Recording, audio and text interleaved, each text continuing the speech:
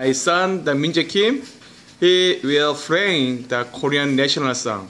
So let's look at it. Okay, play.